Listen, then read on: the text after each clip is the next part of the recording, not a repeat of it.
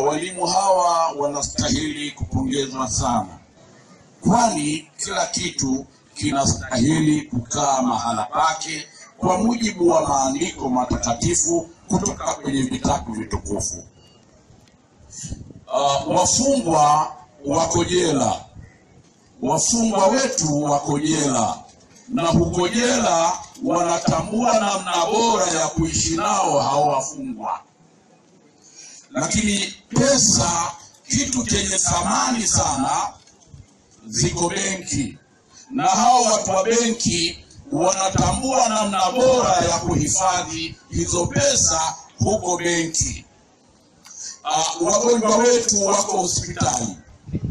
Na madaktari wanatambua namna bora ya kukaa na wagonjwa wetu huko mahospitalini, lakini watoto wetu ambao huwezi kumwazima mtu.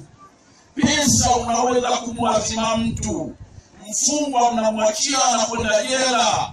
Na mambo mengine hivyo hivyo, lakini watoto wetu sehemu tukufu.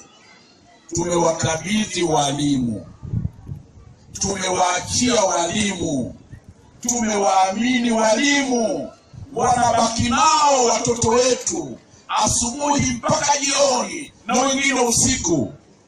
Walimu ni sehemu takatifu na ndio tumewapa watoto wetu ambao ni sehemu tukufu.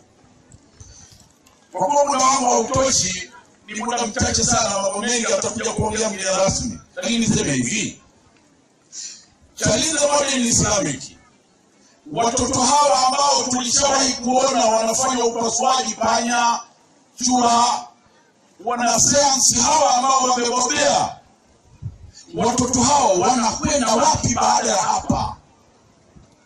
Watoto hawa ambao wamelelewa katika maadili ya Uislamu, wamelelewa katika maadili bora, wamelelewa katika miongozo ya kimungu, baada ya hapa wanakwenda wapi?